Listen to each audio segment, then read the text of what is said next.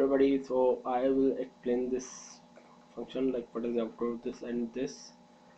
function which you already should have known or some people should know that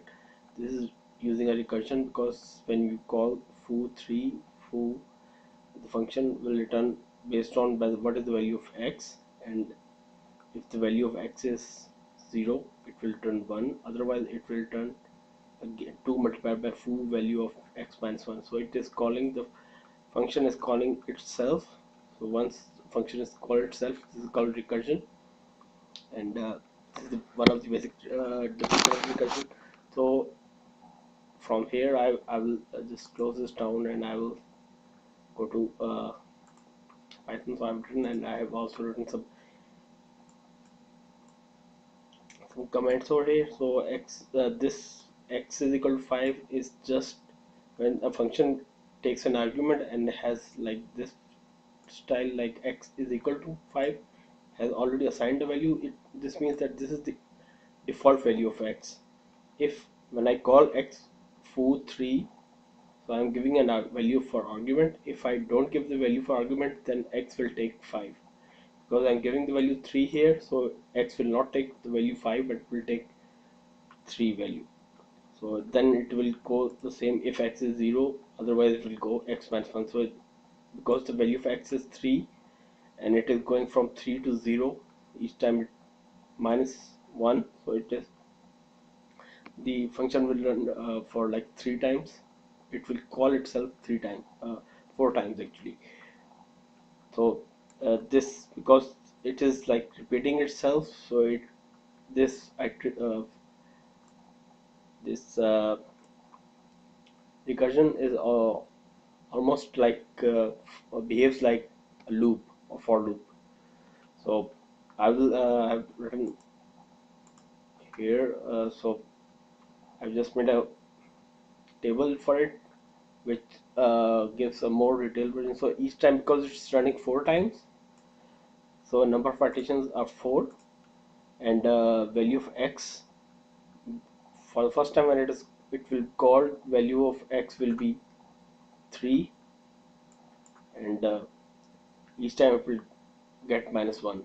so for the first time when it's called it's called 2 multiplied by foo x of minus 1 which is 2 multiplied by 3 minus 1 is 2 multiplied by 2 but actually what it's doing is that when it's called foo 3 it calls itself again. It says call foo with x minus 1 so mean call foo again with 2 like so it is calling from foo 3 to foo 3 or uh, 2 next time it will call uh, 2 minus 1 so it will call like foo 1 and next time it will call foo 0 once the foo 0 is there then it says that it will return 1 so here uh, it this this part last part will return 1 to here and when this will get 1 from here like here it will uh, ask for 2 multiplied by whatever the value was returned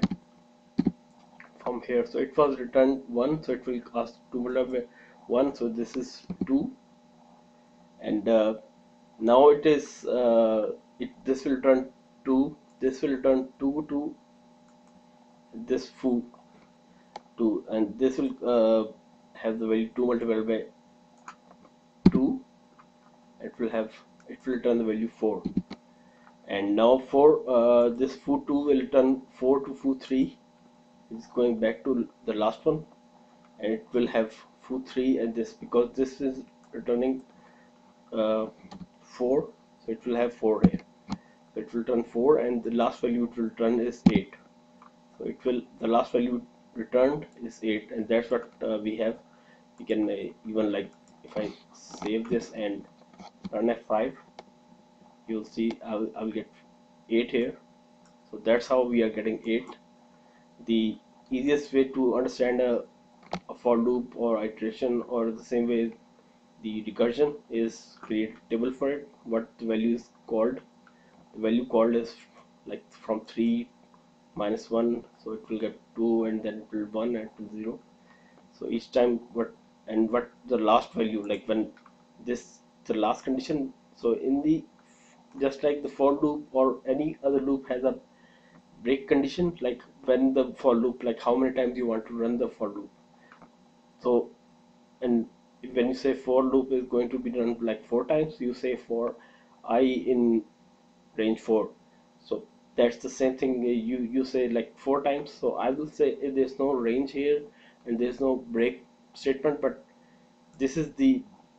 this can be considered as like when the last statement is run for x is equal to 0